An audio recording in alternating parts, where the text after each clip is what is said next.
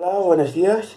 Hoy vamos a hablar del libro Los años de peregrinación del chico sin color, de Haruki Murakami. Para vuestra información, este no es el primer vídeo que hablo sobre Haruki Murakami. En un vídeo anterior ya hablamos de él, os dejaré por aquí arriba la etiqueta.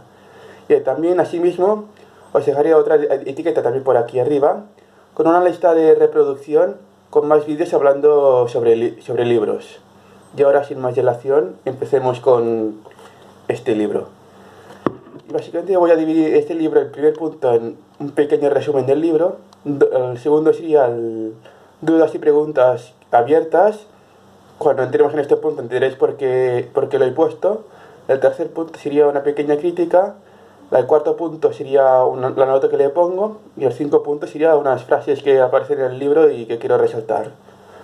En lo que respecta al resumen de este libro, mm, básicamente este libro se podría resumir en la frase que, de que a veces hay que enfrentarse al pasado para poder tener un futuro. El mensaje que lanza el libro, o al menos el mensaje, el mensaje que yo he extraído y que yo he entendido, es que ante un hecho que nos, que nos ha hecho daño, lo que tenemos que hacer es enfrentarnos a este daño.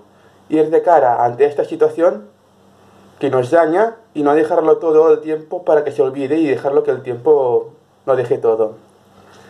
Tras la, en, lo que respecta a este libro, trasladando este día al libro, la trama señala que hace 16 años el personaje de este libro que se llama Chukuro fue expulsado de su grupo de amigos por un motivo que al inicio de la obra se desconoce y esto le provocó un trauma que, le desembocó en una depresión y que varias, varias veces Chukuro durante los meses siguientes a esta expulsión tenía ganas de morir.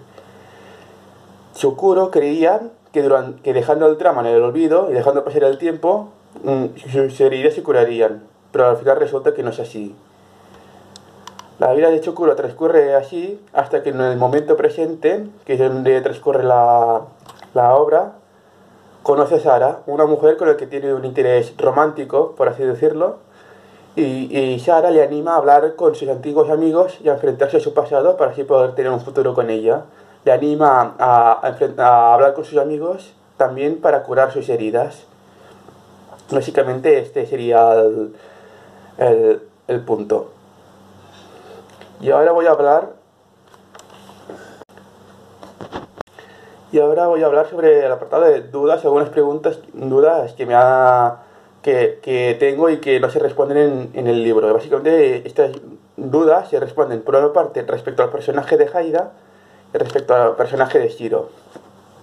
Antes que nada, perdón que se me ha olvidado decir, quizá pueda haber algún spoiler, así que ya aviso, avisado de spoilers. Las dudas son respecto a Haida, respecto al personaje de Shiro. Respecto al personaje de Haida, este personaje parece que cuando Shokuro está en la universidad, después de haber, justo después de haber sido expulsado del grupo, conoce a Haida, que es un, compañero de la universidad, que conoce mientras está haciendo piscina, nadando en la piscina. Y se hacen amigos. Haida le cuenta, la historia dice que Haida le cuenta una historia que supuestamente ha protagonizado su padre, supuestamente, y digo supuestamente porque Shokuro cree que ha sido el mismo Haida que lo ha protagonizado.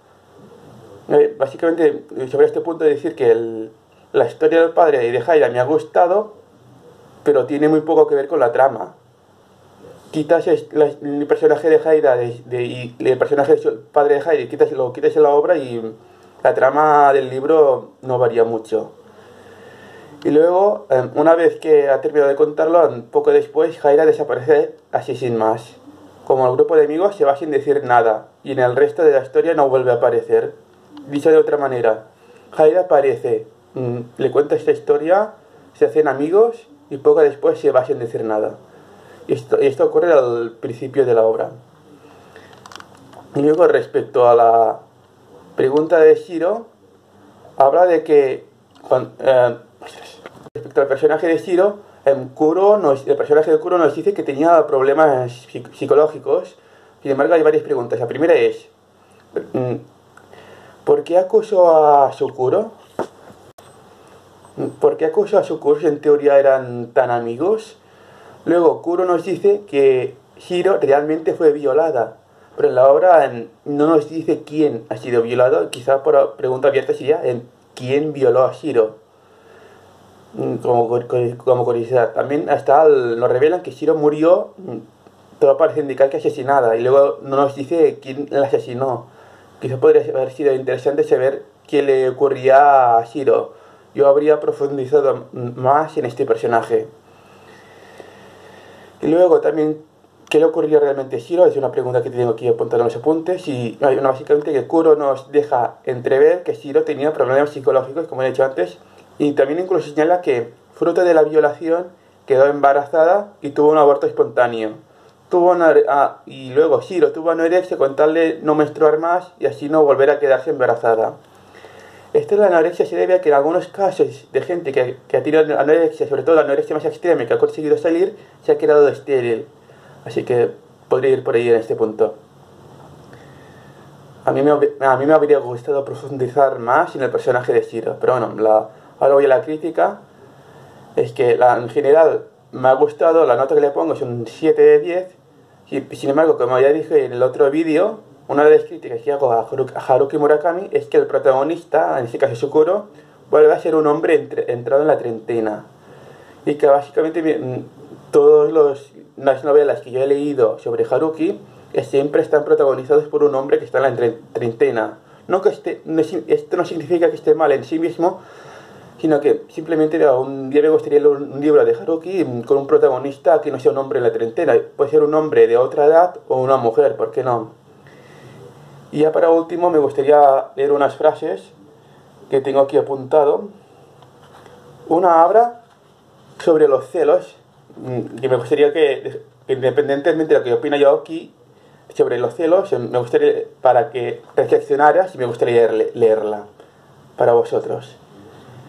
Dice que los celos son la prisión más desesperanzadora del mundo, porque es una prisión en la que el preso se confina a sí mismo Nadie lo mete a la fuerza.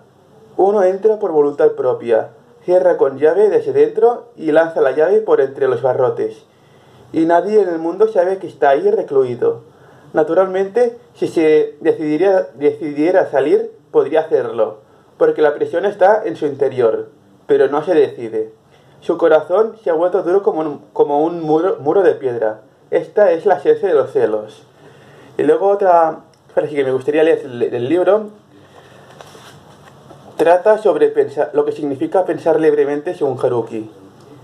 Y dice que pensar libremente significa también distanciarse del cuerpo, salir de esa jaula que te limita, romper las cadenas y simplemente darle alas a la mente, proporcionarle a las ideas una vida natural.